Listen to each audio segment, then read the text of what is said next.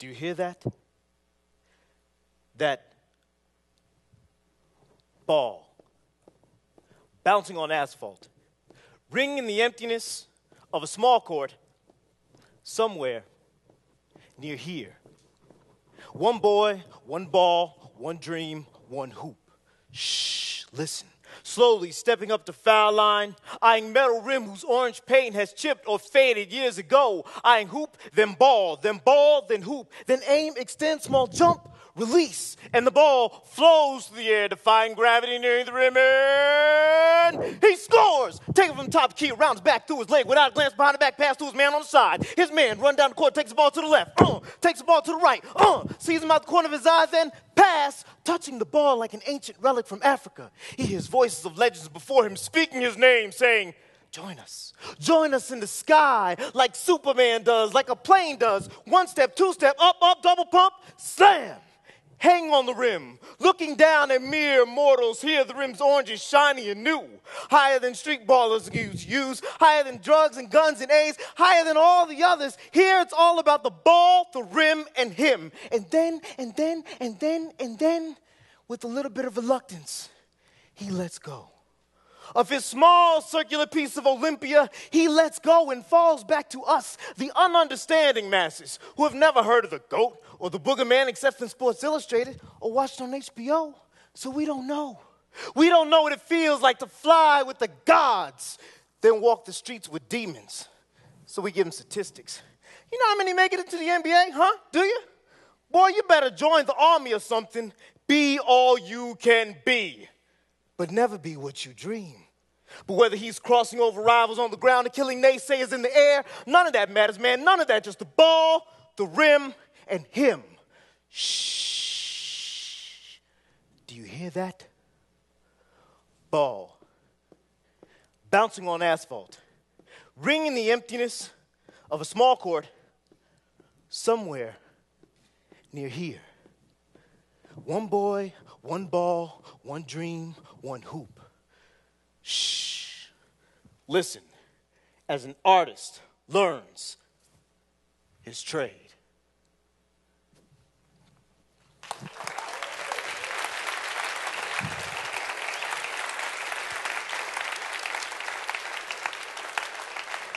Thank you. So, that poem was written by a guy who probably shouldn't have graduated high school. Me. I've been struggling with dyslexia my whole life. And when I was younger, it was a, a, huge barrier. I had a hard time learning how to read, and I would get so frustrated because all the kids in my first grade and second grade class, they all seemed to pick it up really quickly, and, and I just didn't do well with it. And I had an aunt, God bless her, she was a teacher, and she would come to the house every weekend and would work with me on you know, figuring out this dyslexia and learning how to read. And, you know, it was kind of a scarlet letter in my family because everybody else could read and I just always struggled with it. So my aunt came over and she really worked with me. But nothing ever seemed to click until one day my uncle came with her and he brought with him this magical, amazing thing that I don't think I had ever seen before. It was this magic, and it was called a comic book. It blew me away. And the comic book was Captain America 100. It was a comic when they were reintroducing the Captain America of 1942 and the World War II into present day America. And I was just blown away. I mean, here's a story of this guy that was frozen in ice and he came back to fight crime. I, I thought, what is this? It was amazing. And so my uncle just kept bringing me comic books and I kept reading and exploring. And what happened was through those colorful pictures and the words on the page, I began to understand what was going on. And it helped me with my reading comprehension because I kept going back and rereading and rereading but also it caught my attention. It got my imagination. I, am really going to age myself because when I was that age and in school, the only books that we were reading were Dick and Jane. See Dick run, look at Spot jump, Jane does this. And that did not activate my imagination at all.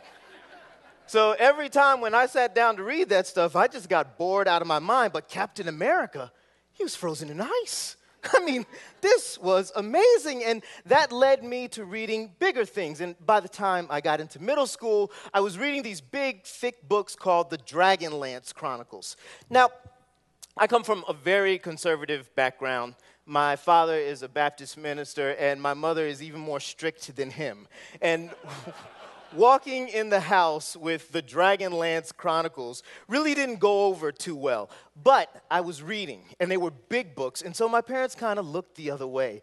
And I fell in love with these books, and, and, that led me to reading more and more. And I just had this immense appetite to just keep consuming these stories and, and these tales that stretched far beyond anything that I saw in my regular life.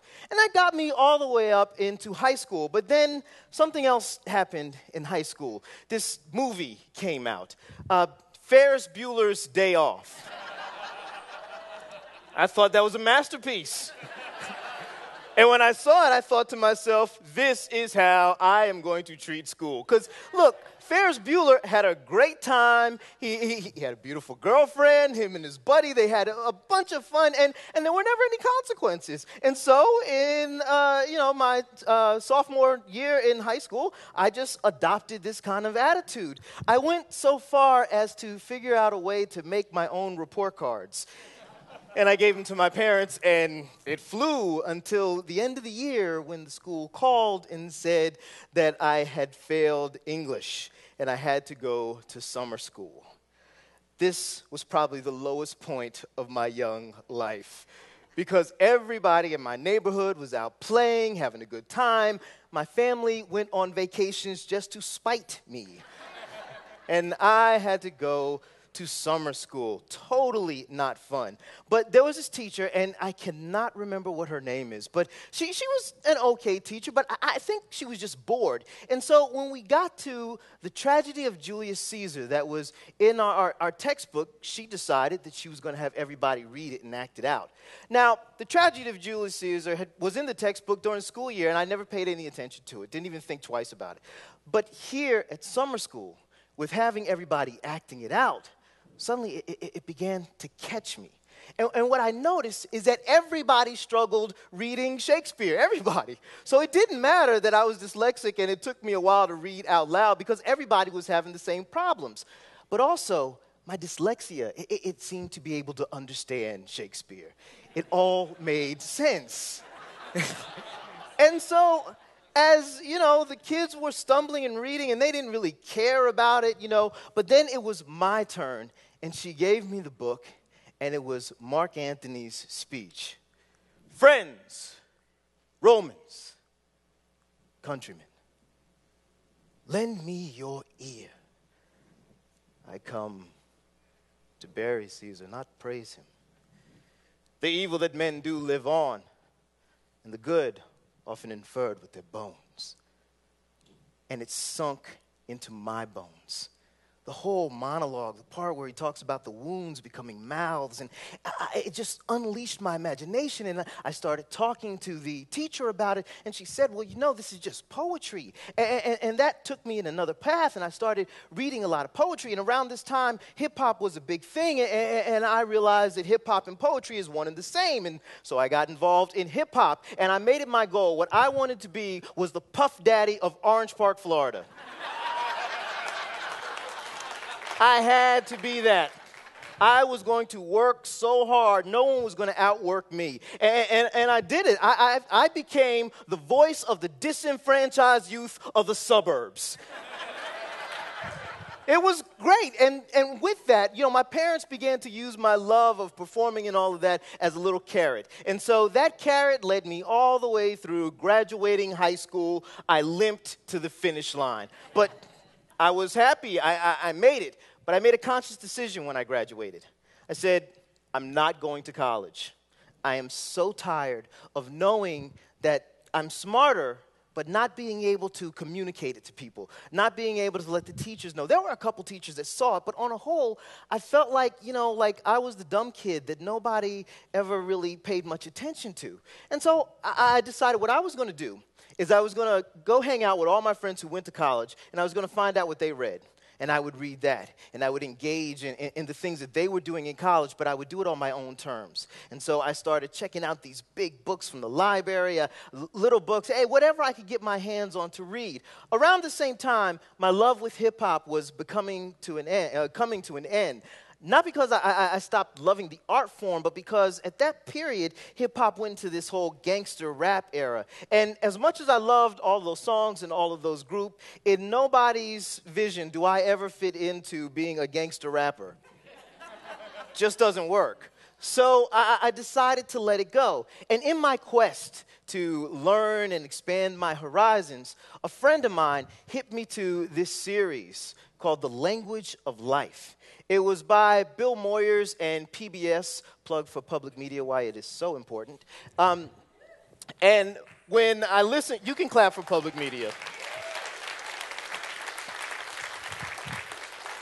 So, as I'm popping in this tape and listening to it, I was introduced to this man, Sekou Sundiata. And when I heard the poetry out of his mouth, it just took me to a completely different place. From whence I come, from whence we come, from whence I come, from whence we come, that dark woman of a land only knows so well. How we tribalize our rest in the west, who can tell? Was once an X, I'll knocked over cross to bear. Like the flatted fifth note of blue, you hear the terrible one we wear like a skin color. I heard that and thought, what is this? Because every bit of poetry that I had ever heard sounded like something from Shakespeare's time. But, but this, this sounded contemporary. This sounded right now. This sounded like me. But it wasn't just hearing his poetry that got me excited, it was his interview. Amiri Baraka had a, um, a poem called With Your Bad Self. I didn't know you could say that in a poem. I mean, we said that all the time in the neighborhood, but this man made literature out of this, you know, and what it did is it really enabled me, sort of opened up a door and said, wait a minute, there's poetry in the language I speak. That right there. There's poetry in the language I speak. And it blew me away.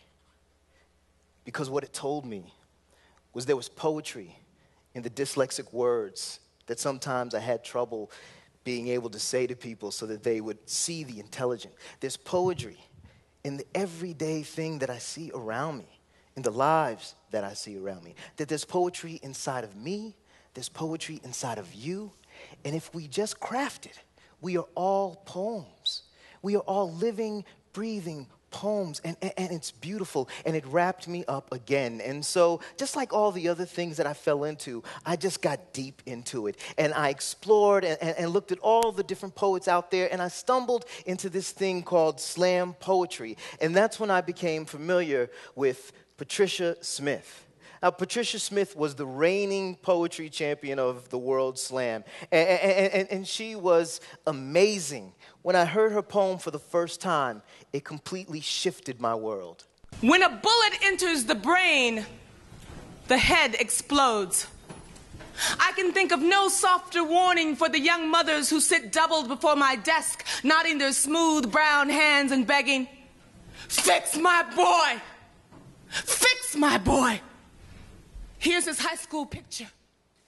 What she was doing was telling a story, was expanding my horizons through poetry, but also storytelling, and it shaped and crafted me and let me understand that not only could I speak in poetic language, but that my poetic language could say something, that I could reach people and talk about something that was deeper, that I could connect people that I could help people understand other people's sorrow and pain, but also expose them to the happiness and joy that this world offers.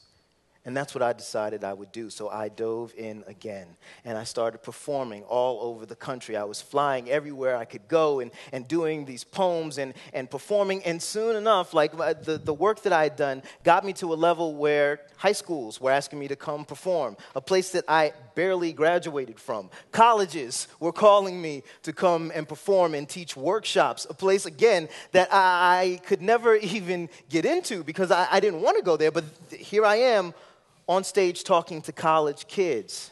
And it, it's just been an amazing journey. But I never really thought about it until one day I was teaching uh, a, a, group of kids at, at a community college. And I, I, didn't connect the dots. I didn't realize that every time I've had a hard spot in my life with my dyslexia, it was the art that brought me through. Whether it was Captain America being frozen in a block of ice, or moving to the Dragonlance Chronicles that expanded my world, or, or Shakespeare, or, or, or poetry, or hip hop, to right now, every step of the way, it was the art that made the path a little bit clearer for me. And it, it, didn't really come into focus until I was teaching that class. And in the back of the room, there was this slightly overweight girl, sadness clinging to her eyes, along with the rings from another night of no sleep. She's 16 and just lost her baby because her body wasn't ready to carry to full term. And the first time she talked about it was in a poem she handed to me. Or Carlos, who hates his teachers, hates getting picked on, hates the way he looks in the mirror, and sometimes hates his parents. But instead of picking up a gun, he writes and writes and writes until there's no more ink left in the pen, no more paper to write with, nothing but the written band aid and the word in his heart. He writes like his life depends on it. But it's mine that he's saving.